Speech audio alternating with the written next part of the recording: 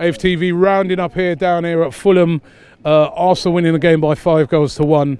What's been the difference with last year's Arsenal and this year's Arsenal? You you actually see like even when we were five one up, Unai Emery is still on that line. He's screaming at the players saying, "I want you doing this. I want you doing that." See, when we if we were what were winning five one, maybe with Arsene Wenger, I don't think that would be seeing that. He's trying to get every little last bit out of these players, which is great from him. And and you know, there's certain players that he is squeezing it out of them. Iwobi, Bellerin, these guys who didn't have the greatest of seasons last year, really stepping up. Yeah, I think also Iwobi was terrible last season, probably our worst player, but mm. he's, he's, turn, he's, he's pushing for that first team position. He's got it today. Who knows what happened with Mesut Ozil, because that was a bit of a strange one. Not in the squad, mm. but listen, Iwobi's good, mate might just start starting now again. Mm. What? um, so, listen, they're- he's pushing, and everyone's trying to get in this first team now. Rob Holding, he's, he's, he's not put a foot wrong. He's not put a foot wrong. So maybe Sokratis like I've got to work harder now, because everyone wants to start in the 11th place, and then everyone's gonna have to work harder and harder and harder. Okay. Let me get a young Fulham fan in. Um, glad that you still got a smile on your face, but it was a bit of a battering for you guys today. Yeah, it was. Um, I think first half we did kind of play pretty well, but I think it all slipped in the second half. How defensive wise, you know, we're terrible defensively. We've brought in three def- centre backs, sorry, and like they're still not just not performing, which I'm pretty It's going to take a bit of time, isn't it, for them to gel? Mm, It is, yes. But uh, we also missed out three key key players, which was Joe Bryan, Fosu Mensah, and Tom Cairney. They were all out injured, Yeah. which was really bad. And I mean, it was just today was just shambles. Uh, was you impressed with Arsenal? I was impressed. I was I was really impressed. Like um, first half they were doing pretty well. I, I gotta say. Second half they came out with a bang. They came out with a bang. They came out. You know, just, it was like an amazing team. Like Barcelona was just right there.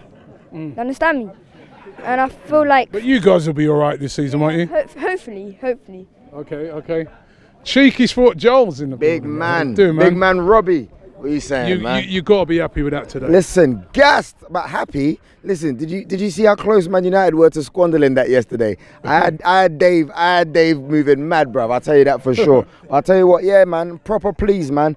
Massive. Do you know what? Yeah, I'm happy that everybody is on their toes. Welbeck has done well to get into the team, but guess what? He didn't score today. Aubameyang comes on, scores two goals. You know what I mean? Shout out to my Gabon brother. We say ça, merci, hello. Okay, and also second time and second time as well. If you look, if you look at if you look at Leno, it's not easy to come in and step in for Cech. You know the way Cech's been playing, but he's come in. He did an excellent job today, especially in the first 10, 15 Great minutes. Great save after about 10 minutes. We were we were getting we were getting you know what I mean they were mm. testing us a little bit do you know what I mean in the beginning but Leno kept his cool so big cool big shout out to him. And I'll mm. tell you what I thought Bellerin was strong today do you know what I mean? Like especially second half I really loved I saw the confidence come up.